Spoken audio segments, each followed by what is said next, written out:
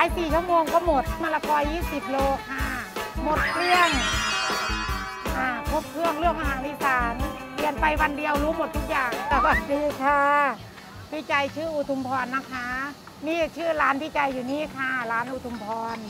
ตำผลไม้ตำไทยปลาทอดอย่างเงี้ยคือลูกค้าต้องสั่งอย่างเงี้ยแล้วก็ลาบน้ำตก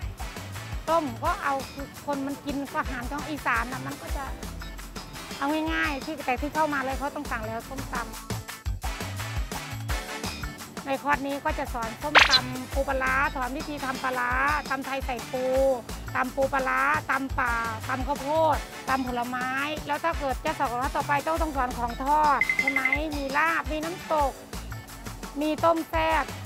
สอนวิธีทำคืออาหารอีสานสอนให้หมดของทอด ก็จะสอนให้ครบหมดก็คือว่ามีปลาดุกทอดกระเทียม แล้วก็ไก่ทอดกระเทียม เรียนไปคอร์สนี้เปิดร้านอาหารอาหารอีสานได้แน่นอน ครบทุกอย่าง แล้วเจอกันวันเสาร์ที่ 26 พฤศจิกายน